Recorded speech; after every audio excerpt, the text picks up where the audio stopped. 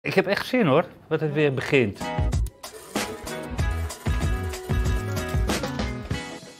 Volgende week vrijdag gaan we weer beginnen. 11 Wij gaan- september. ja, nou, ik heb wel zin. Ja? Ik mag wel koffie drinken toch, terwijl we Ja, gezellig ja, gaan nee, praten, gewoon. zijn Joey. Gewoon lekker ontspannen. Ja, nee, ik, ge- vrijdag eh, de 11e. Mhm. Eh, nou, begint het circus weer. Ik heb er wel echt zin in. ja. En ik hoop ook wel gewoon dat het nu wel klaar is, toch? Het is allemaal wel mooi geweest met het, eh, ja, laten we niet met te veel het, met het negatieve gedoe en zo. Het was wel een beetje kantje boord op een gegeven moment natuurlijk. Maar Jawel, jawel. Maar dat zou wel enorm jammer zijn. Want, ik bedoel, ah, voor mezelf. ja, maar jij was natuurlijk... Daar beginnen we toch uiteindelijk altijd mee. Is het gewoon hartstikke... Nee, het is gewoon hartstikke leuk om te doen. En eh, nee joh, ik ben echt hartstikke blij dat het weer, eh, weer gaat beginnen. Want je bent er wel alweer lekker ingekomen, toch? Ik bedoel, zeven keer eh, Champions League uitzendingen gedaan. Die moesten we nog afmaken van Ja. het vorige seizoen. Ja, hoe was dat dan? Hoe is dat dan achter de schermen? Dat wil ik toch wel weten. nou, niks van gemerkt. Kijk, Johan, Wilfred was er de eerste paar keer niet. En dan deed Helene het. En later was Wilfred er weer wel en dan met René. Ja. Ja, dat was hartstikke leuk. Hartstikke gezellig. Ja, ik klink louter positief, dat merk Nou je ja, wel. maar geen, ik bedoel, ja, met geen spanning nee, of maar nee. zegt nou ja, goed. de- bij de eerste uitzending eh, zal het misschien weer eventjes wennen zijn voor Ja. iedereen bij elkaar. En je gaat volgens mij, want, want theater, hè, dat was natuurlijk Ja. een eh, doorslaand succes vorig Ja. seizoen, volle ja, zalen. nee, dat was echt zo'n succes. Nou nee, er waren veel mensen toch? Ja. Nou ja, op een gegeven ogenblik eh, kwamen er wel wat meer mensen dan in het begin. ja. Maar toen hadden we natuurlijk ook wel, had ik het honderd keer geroepen bij VI. En eh, nee ja, goed, er staan eh, sowieso twintig van die dingen geboekt. Oké, maar hoe is dat dan? Want met corona, dan is er natuurlijk wat minder Ja. plek en zo. Nou ja, de zalen zijn dan wat groter.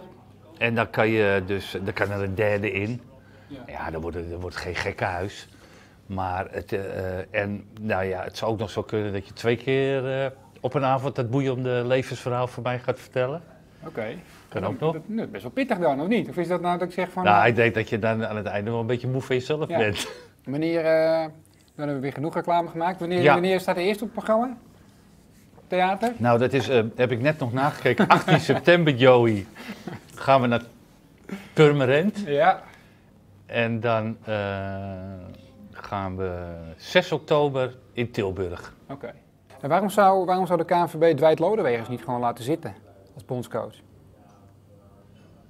Maar ik, weet je, ik moet ook wel... Dwight Lodewegen schijnt echt een hele bijzondere trainer te zijn. Ja, hoezo dan? Maar die heeft zijn leven lang geen club getraind. Nou, meer als assistenten dan bedoel je? Of? Ja, ja, kennelijk als assistent. Maar ik, ik kan me niks herinneren van dat hij als hoofdcoach eh, nou ja, wel het ergens heel goed heeft oh, gedaan. Zo, dat is goed Nou gedaan. ja, oké. nee. Het zijn allemaal geen topclubs geweest, nee, dat Nee, klopt. dus waar, weet je, het moet er een type Koeman worden, hoor ik dan. Nou ja, maar waarom moet het dan een type Koeman worden? Ik Ja, bedoel, spelersgroep wat, die en wat is dat dan, een type Koeman? Ik Ja. weet het niet. Nee. Ik weet in ieder geval dat, eh, dat er wel een heel goed elftal is. Kijk, spelers die zijn dan gewend om de Koeman te werken. Als je dan Vergaal haalt,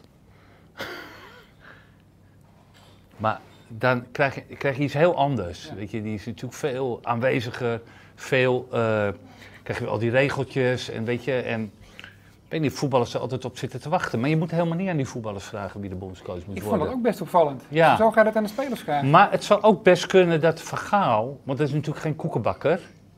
Kijk, in zijn persoonlijkheid denk ik nou, eh, pff, moet dat allemaal, weet je. Maar programma zou dat het is leuk zijn, maar goed. we- weet je, er is natuurlijk wel al vooral bewezen dat hij een geweldige trainer is. Ja. Dus waarom zou hij er niet meer uit kunnen halen dan Koeman? Begrijp je wat ik bedoel? Dat kan toch? Nou, dit is de eerste aflevering. Zijn we Dat er alweer klaar langer. mee? Nou, we zijn Nou, ik vond het een beetje kwijt? stroef beginnen. Het Ja. begin was een beetje stroef. En we moesten weer even aan elkaar wennen natuurlijk. elkaar een tijd niet gezien. Ja, jij bent vader geworden, Ook of is dat. dat helemaal niet relevant voor dit hele verhaal? Ja, Ja, nou ja, dat weet ik niet. en eh, ja, leuk. Nee, ik heb echt zin hoor, dat het weer begint. Ja, toch? Ja, en ehm, nou ja, misschien kunnen we af en toe Gaan we gewoon af en toe... eh, moet je- misschien nog een keertje langskomen bij het theater dan? praatje. Hangt er even vanaf of vol genoeg is natuurlijk. maar- ja, ik ben wel benieuwd. Ja. Maar ik vind, wel, ik, vind wel, ik vind wel weer leuk gewoon. Nou ja, goed. In ieder geval laten we nog gewoon Ja. af en toe elkaar gaan we een bakje Ja. doen weer. Komende seizoen. En dan eh, Gezellig, Joey. zien we het wel weer. Ja, jongen. Bedankt Wim. Ja, ja, ja, ja. Voor nog meer hoogtepunten download onze Veronica Insight app.